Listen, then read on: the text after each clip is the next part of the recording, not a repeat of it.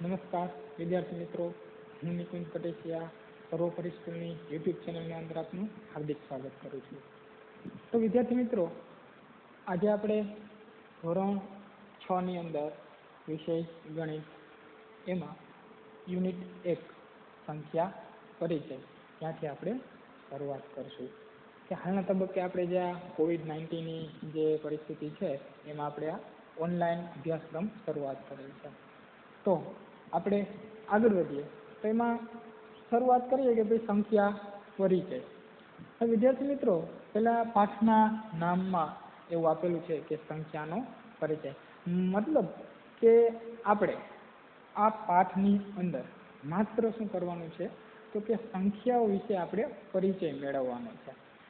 સંખ્યાઓ વિશે પરિચય એટલે તો તમને અજુગત લાગે કે, સર, આમાં સંખ્યાઓ વિશે શું પરિચય મેળવવાનો? સંખ્યા તો ખબર જ હોય બધાને.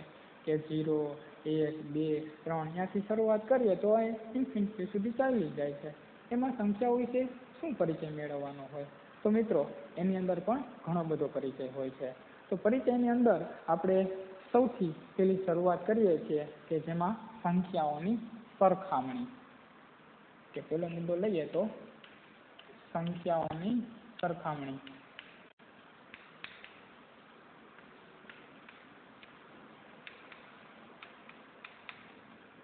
શું કે છે મિત્રો? સંખ્યાઓની સરખામણી.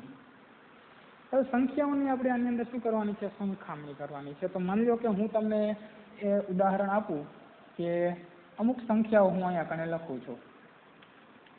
સોળ, બસો, તેત્રીસ, એકસો સાસઠ ત્રણસો, વીસ, પાંચસો બોતેર.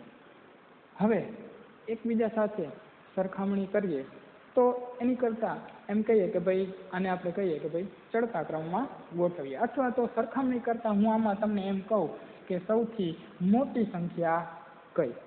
શું કહે છે મિત્રો? કે સૌથી મોટી સંખ્યા કઈ? તો સૌથી મોટી સંખ્યા તમે ગોતી શકો છો. કઈ હોઈ શકે? સોળ, તો કે ના. બસો તેત્રીસ, તો કે ના. એકસો સડસઠ, તો કે ના. ત્રણસો વીસ, તો કે ના.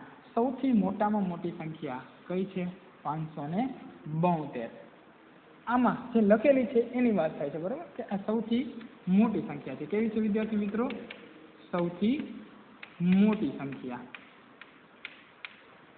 હવે આની જ અંદર હજી આપણે બીજી ચર્ચા કરીએ કે ભાઈ સૌથી મોટી સંખ્યા કીધી હવે આનાથી ઉલટું હું કહું તો સૌથી નાની સંખ્યા કઈ હોઈ શકે? તો તમે વિદ્યાર્થી મિત્રો કહેશો કે સોળ.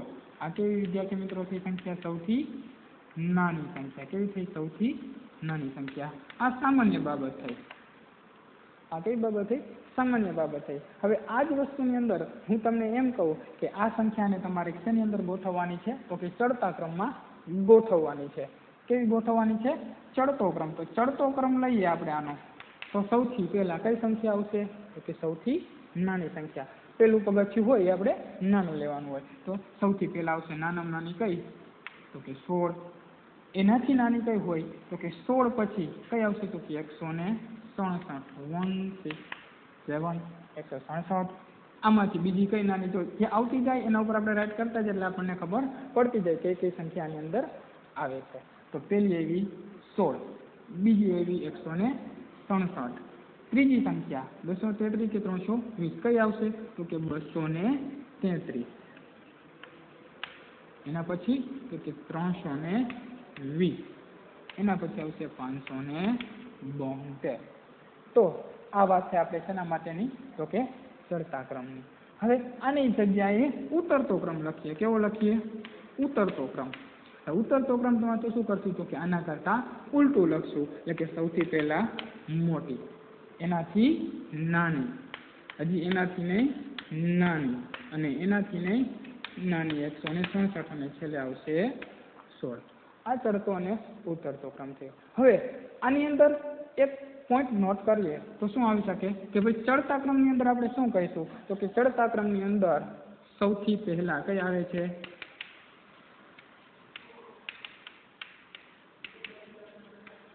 નાની સંખ્યા. અને ઉતરતો ક્રમ છે. તો ઉતરતા ક્રમની અંદર શું આપણે નોટ કરીશું? તો ઉતરતા ક્રમની અંદર આપણે એવું જ નોટ કરીશું. તો કે સૌથી પહેલા કેવી સંખ્યા આવે છે? મોટી સંખ્યા આવે છે.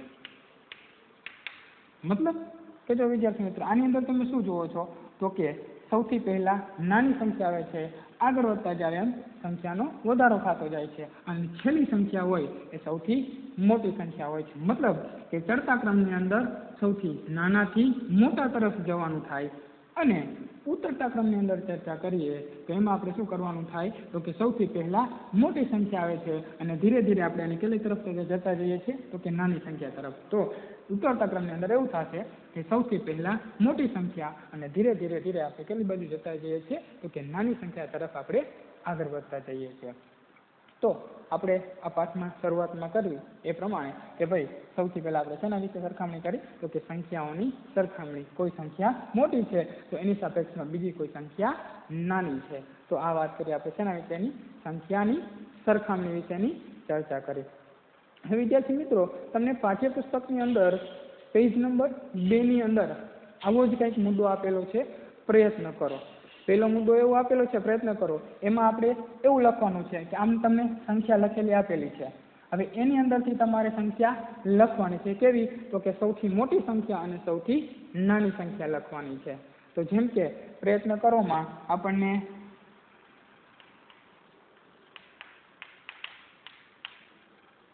એક સંખ્યા આપેલી છે, એને આપણે લખીએ. ચૌદ, એકોતેર નેવ્યાસી ચારસો ત્રેવીસ.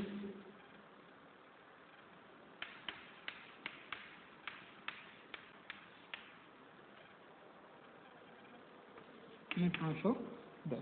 હવે આવી સંખ્યા લખેલી છે. હવે આની અંદર તમારે શું કીધું છે? તો કે સૌથી મોટી અને સૌથી નાની સંખ્યા ગોતવાની કીધી છે આપણને. તો સૌથી મોટી સંખ્યા છે, આમાં તમે ગોતી શકો છો. કઈ સંખ્યા હશે? તો કે આ.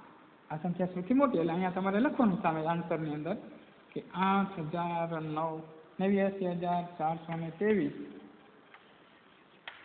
આ સંખ્યા કેવી છે? સૌથી મોટી. અને આવી જ રીતના સૌથી નાની સંખ્યા લખવાનું, સૌથી નાની સંખ્યા કઈ? તો કે સો. લખશો સો. આ સો કેવી છે?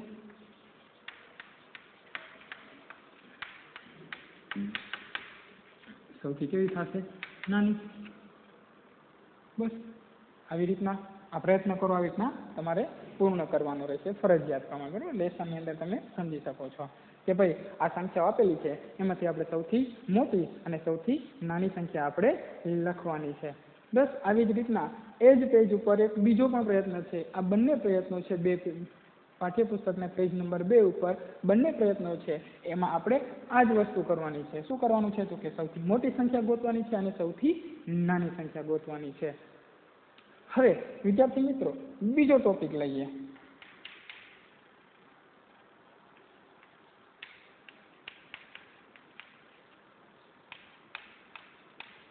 તમે કેટલી સંખ્યા બનાવી શકો?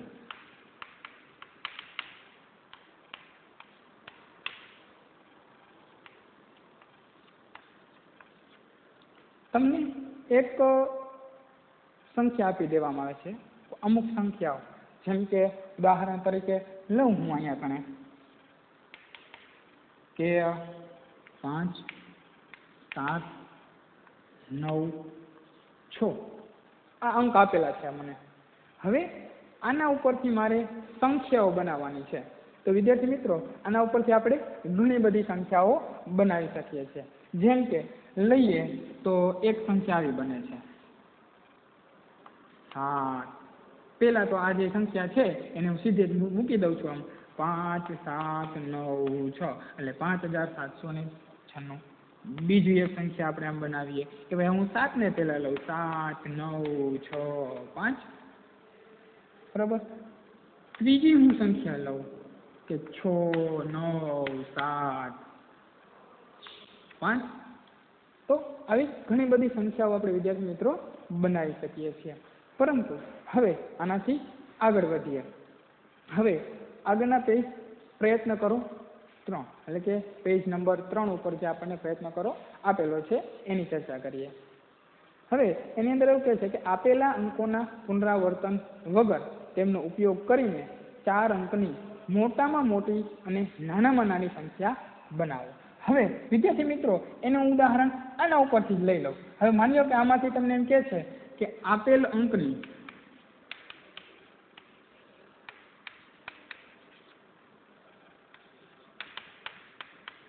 મોટામાં મોટી અને નાનામાં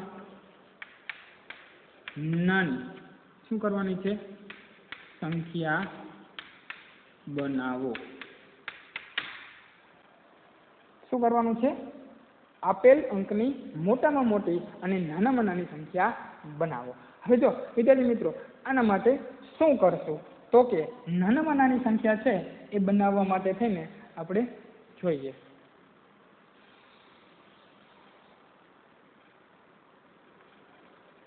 સૌથી પહેલો પ્રયત્ન આપણે કરીએ મોટામાં મોટી માટેનો. શેના માટેનું કરશું? મોટામાં મોટી.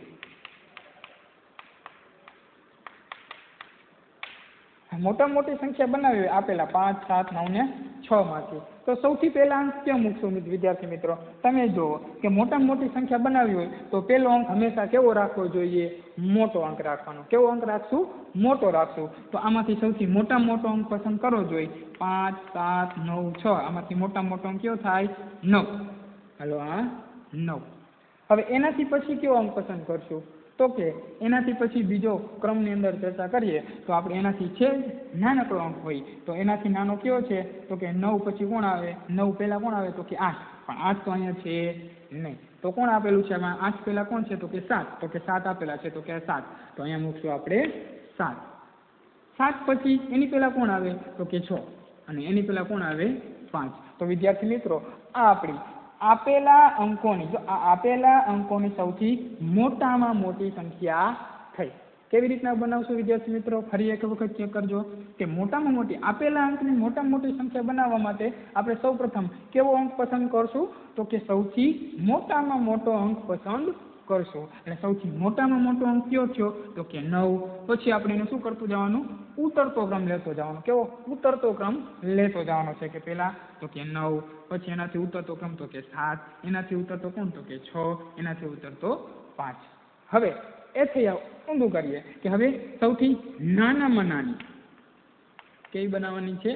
નાનામાં નાની સંખ્યા બનાવવાની છે. હવે નાનામાં નાની સંખ્યા બનાવવી હોય તો આપણે શું કરશું? તો આનાથી ઉલટું કરશું. કેવું કરશું? આનાથી ઉલટું કરશું. તો સૌથી કેવો અંક પસંદ કરશું આપણે? સૌથી નાનામાં નાનો અંક પહેલાં પસંદ કરશું. તો કે સૌથી પહેલાં નાનામાં નાનો અંક કયો થશે? તો કે પાંચ.